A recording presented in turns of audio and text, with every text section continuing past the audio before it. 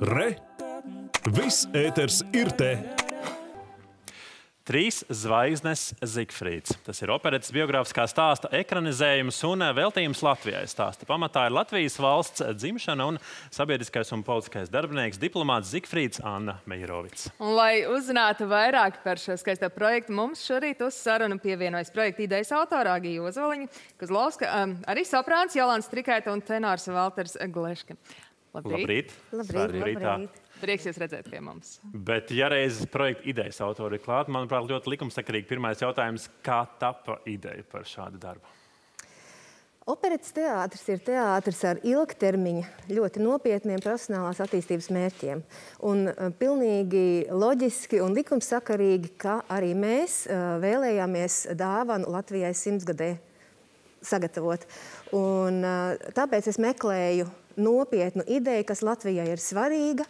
Un nenoliedzami, ka tāds ir Zikfrīds Anna Meirovits, um, šis diplomāts, šarmants, augsti izglītots, kas faktiski ir tāds kā Latvijas brīvības atgūšanas simbols.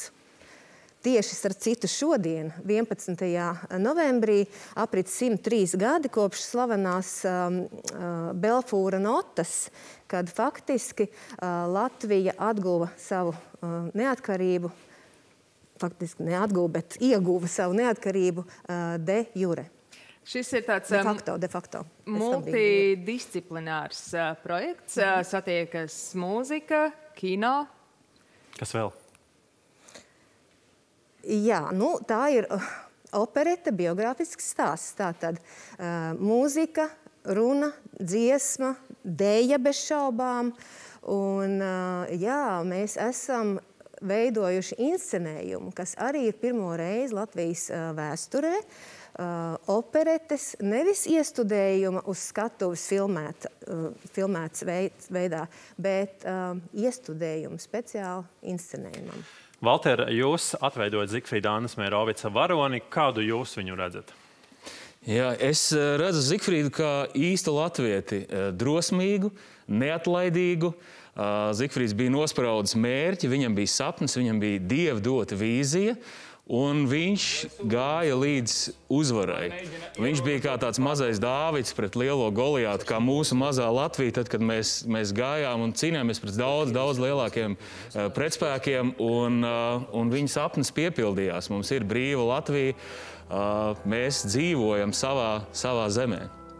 Jolanta, jūsu varone ir Anna Meijerovica. Um, Kāda viņa ir? Kādu jūs viņu veidojāt? Anna Meijerovica bija Zikfrīda sieva. Un, un kas jau ir interesants fakts, ka iepratim tā laika uzskatiem, un arī mūsdienu droši vien uzskatiem, uh, Anna bija Zikfrīda māsīca. Un uh, ģimenes locekļi bija pret viņu laulībām.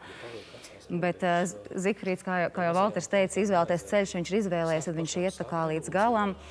Um, es domāju, Anna ir tā sieviete, kura dzirdēja pati pirmā visas, varbūt sākotnēji trakās idejas par brīvu Latviju kā tādu. Es domāju, tas dzīve noteikti uh, mājās, uh, viņa kopīgajos brīžos. Uh, un es domāju, Anna bija viena no tiem, kas uh, pirmā dzirdēja to visu. Un Anna bija sieviete, kas viņu gaidīja mājās, kas bija patiesībā uh, nemitīgas, ilgas un ilgošanās ar pēc ģimenes. Viņa bija ar saviem trīs bērniem gaidot mājās Zigfrīdu no visiem ārvalstu braucieniem. Jums vispār viegli bija iejusties šajos tēlos?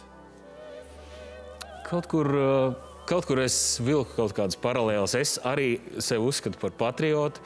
Es arī zinu, ka es būtu gatavs darīt daudz ko savas zemes uh, labā. Un, uh, es tiešām iemīlēju Zikfrīdu, lai gan kaut kādos filmēšanas brīžos uh, tas bija pat kaut kāds fizisks smagums, kurš, kurš nāca pār mums. Tā, tā bija misija, kuru mēs kopā iznesām un cerams, ka aiznesīsim arī līdz jums, skatītāji. Šāds žanrs, opereta filma. Kā jūs tajā jutāties uh, un kā jūs to apdzīvojāt? Kā aktieri? Man jāsaka, process bija bezgalīgi interesants, jo mēs tiešām kā dziedātāji esam pieraduši pie skatuves inscenējumiem un pie tās enerģijas, ko mēs dodam, esot uz skatuves, lai piepildītu zāli. Ja?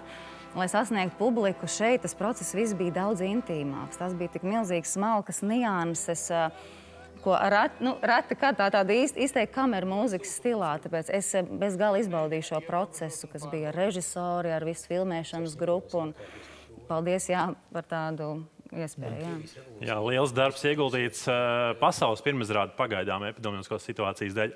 Pārcelta, kas Bet- ir tie datumi? Bet eh, kas agri ceļus, tas skatās panorāmu Tas un uzzina visu pirmais. Brīnišķīgi. Eh, Tātad eh, pasaules pirmizrāde būs 10. decembrī Kultūras pilī VF. 10. decembris, Jā. bet šobrīd mums ir iespēja jau tādu nelielu ieskatu gūt, kā tad tajā operētē būs viss. Jā, ā, mēs pavisam kā varbūt arī tādu novēlējumu Latvijas dienā ar. Jurku Kiršu tekstu un, un Platonu Burovicka melodiju nodziedāsim mazu fragmentiņu. Un ziniet, veltīga nav, it neviena karavīra nāve. Kļūst viņu kapu kopiņās par svētvietām. Un ziniet,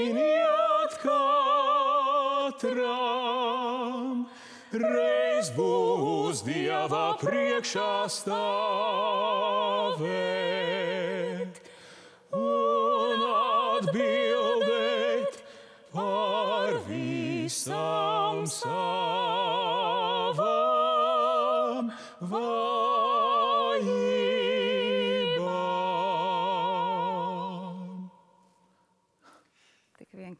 10. Jā. decembris, 3 zvaigznes, Zigfrīds, operēta biogrāfisks stāsts. Paldies, ka šorīt atnācāt pie mums, par to arī izstāstījām. Tiešām gaidām ar nepacietību pirmizrādi. Paldies! Un skaistas svētkus! Paldies! Paldies. Paldies.